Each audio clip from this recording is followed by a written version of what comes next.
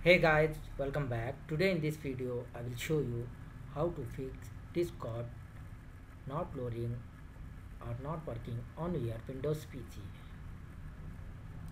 So for this guys, first method, just you right click on your taskbar and select the task manager. Find here Windows Explorer. Right click on Windows Explorer, select the restart and close this. Next method number 2, go to your restart menu, type here command prompt, right click here and select the run as administrator.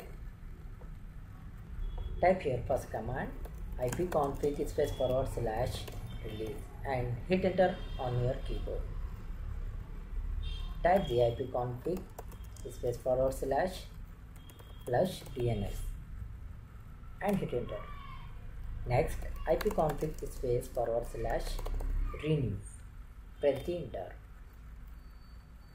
Type the command netsh space int space ip space reset and hit enter. Next netsh space winsock space reset and hit enter. And the last command sfc space forward slash scan now and press enter. You need to wait here guys for complete this verification process for complete the 100% and after you close your command prompt next method number 4 you open the browser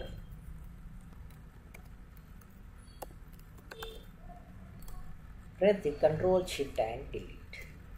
Control shift and delete. Two options here basic and advanced. Select the basic option select the time range and check the contents like this and select the clear data. Once again press the control shift and delete.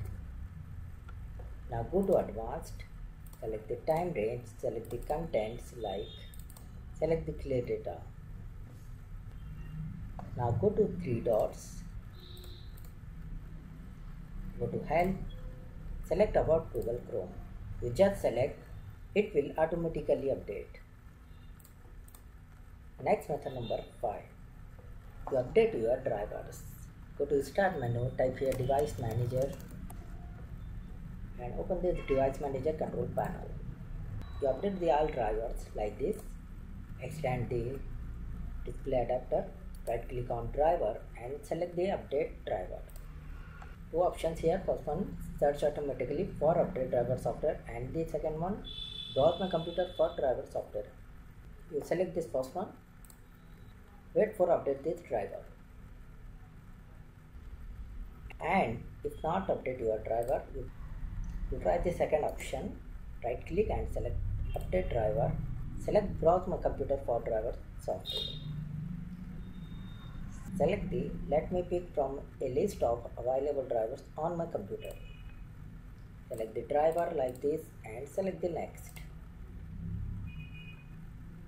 Same guys you update your all drivers and close the device manager. Next method number 6 you update your windows 10 open the browser you type in the search box download windows 10 open this first font link download windows 10 disk image. Select the first one update now and complete this process. And after you restart your pc hopefully it will fix your issue. So thanks for watching this video. Please like share and subscribe